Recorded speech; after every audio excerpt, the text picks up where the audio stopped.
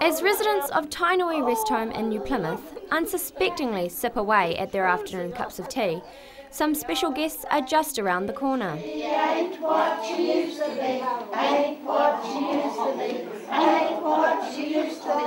Boredom and loneliness are two words often used to describe a life in a rest home. But in the Taranaki, there's an unusual trio here to save the day. Cisco, Marion, and Dixie are a banjo singing group consisting of a horse, a woman, and a poodle. They come to places such as Tainui Rest Home in order to bring a little joy to those who are often forgotten. And although Marion does the majority of the singing, Cisco loves to share his musical talents. Tainui's diversional therapist Anne Matson believes the special trio are a great therapy for the residents. It just gives, makes them smile, makes them happy, and a lot of the ones what can remember will actually talk about it for days and days and days.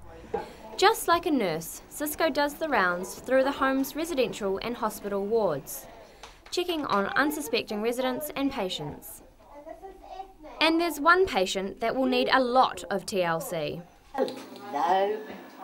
Oh, don't you? Don't you like the menacing smell? I fell down Oh. 18 stairs head first and I've broken both arms. Marion began entertaining at rest homes 12 years ago when she felt like her mother needed some cheering up.